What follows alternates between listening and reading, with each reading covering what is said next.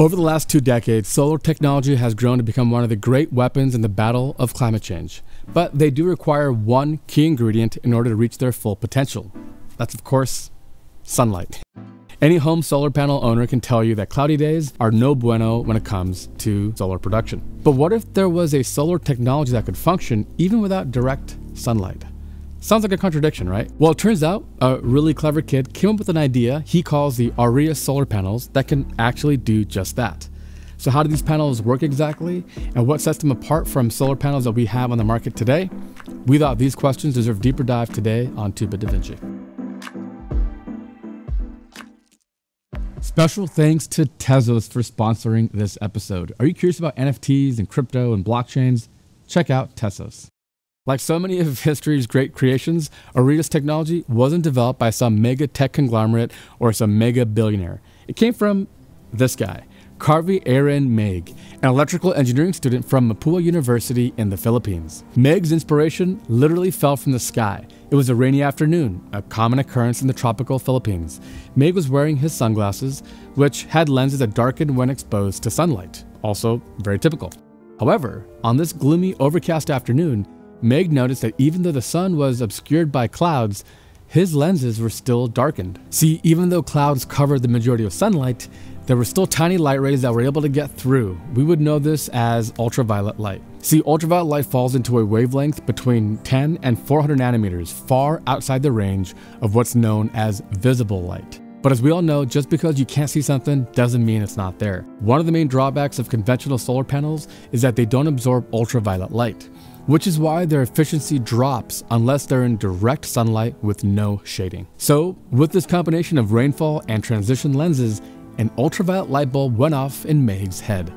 He set out to work on developing what he would call the Aureus solar panel, a groundbreaking new type of solar that can work even on cloudy days. What sets these panels apart is that they use ultraviolet light, which falls outside the range of human eyes. One major benefit of ultraviolet light is that it can shine through even on a cloudy day. This is one reason why it's common for people to get sunburns on a cloudy day, not thinking they need sunscreen because it feels like the sun isn't shining. Aureus stands for Aurora, Renewable Energy, and UV Sequestration. Well, I gotta hand to the kid, he's got a future in marketing. You might recognize that first word, Aurora, from the natural occurring phenomena Aurora Borealis, or the Northern Lights. During naturally occurring aurorae, that's more than one aurora apparently, electrical charged particles emitted from the sun during solar storms collide with the Earth. Most of these particles simply bounce away, but some are trapped inside the Earth's magnetic field, speeding toward either the northern or southern pole. Remember, the Earth is just a big magnet. These high energy particles, usually gamma or UV radiation, bash into luminescent atoms and molecules in the atmosphere, causing them to heat up, a process called excitation. They're then re emitted as low energy particles, visible light, due to their internal reflectance, which then moves them in a wave pattern throughout the magnetic field, creating the stunning, curtaining effects we know as the northern and southern lights. So, what does any of this have to do with solar panels? Well, because the Aureus panels capitalize on this exact process. It begins with luminescent particles derived from the planet's original solar energy producers, fruits and vegetables. That's right, Maigue's invention utilizes discarded crop waste that has the natural ability to transform UV rays into electrical energy. Maigue tested nearly 80 different compounds from local crops before landing on nine, which showed the greatest potential for long term use. Next, luminescent compounds were combined with a resin and poured over a thin solar film, creating strong, translucent, yet easily moldable glass like panels. The first products looked almost like stained glass, not like your typical photovoltaic panels. So, how exactly do these panels work? Well, just like in naturally occurring auroras, it begins with stray UV light hitting the resin panels, which are packed full of high energy particles. Remember, photovoltaic panels can't use raw UV light, but once the panels absorb the invisible radiation, they re emit them as low energy particles, aka visible light, due to internal reflectance just like those particles in our atmosphere. That visible light then strikes a solar film laced along the panel's edge, where it is converted into DC electricity. Regulating circuits process the voltage output to enable battery charging, storage, or direct utilization of electricity. Maigue compares the process to how mammals breathe in oxygen and exhale carbon dioxide. In that, this panel takes in ultraviolet light, then sheds out visible light. The prototype panel, a 3x2 foot lime green translucent panel, was able to generate enough electricity to charge two cell phones per day. That may not sound like much, but this is only the beginning.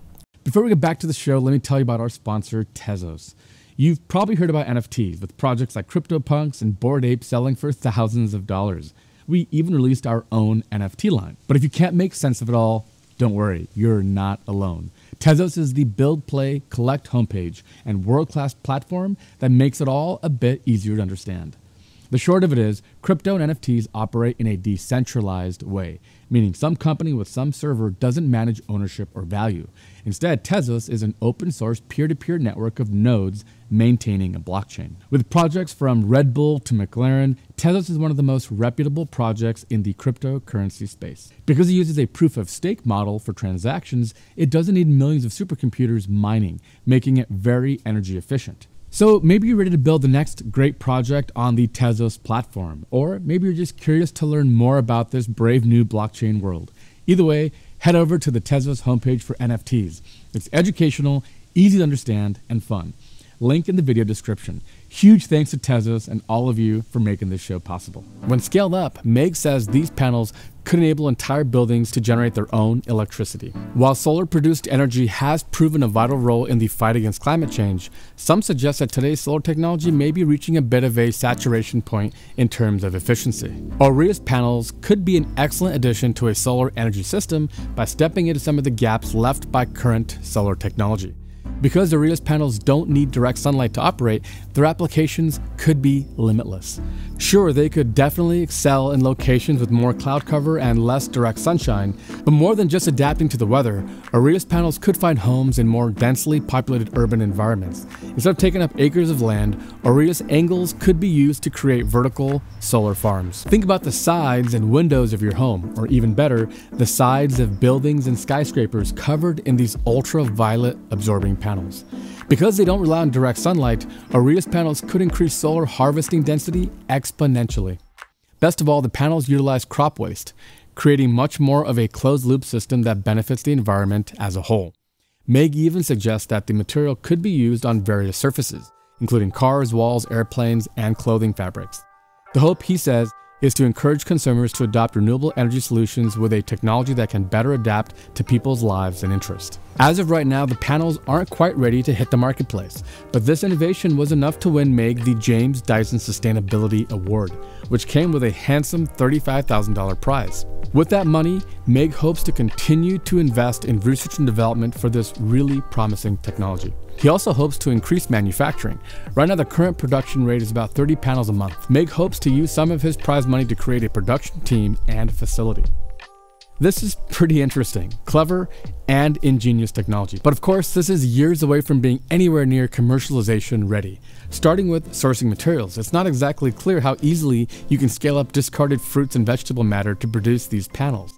And if you make enough of these, do you have to start throwing crops away that were perfectly good? Not really clear. Plus, the resin panels still need to prove they can withstand the harsh rays of the sun for decades without yellowing, fading, cracking, or otherwise falling apart. Plus, there's still the very important question of how efficient they can be, and how much more they will end up costing to manufacture. The dream of draping the skyscrapers of tomorrow with something like this will only make sense if it's worth the added cost. So, yeah, this is super, super early, and much remains to be answered. But that being said, this story really got me excited. I would love to meet Carvey, as he seems like an absolutely amazing dude. So, Carvey, if you're watching, give me a call. Covering these great innovative ideas that just might put a dent in the energy needs of the future is literally the mission statement of this channel. This whole the future is going to be awesome thing, yeah, this is what we're talking about. So, what do you think? Could Aureus panels be the next major movement in solar technology? What creative applications could you see for these panels? Let us know in the comments below. Thanks so much for watching. If you want to be a rockstar supporter of this show, please join us on Patreon as a patron or a YouTube channel member. Come join our Discord. You can chat with us, pick future scripts, and just generally be a part of the team. We'd appreciate you. We appreciate you now anyway. Uh, take a look around. There's some videos I think we're going to like. I'm Ricky Two Bit Da Vinci, and just remember the future is going to be awesome.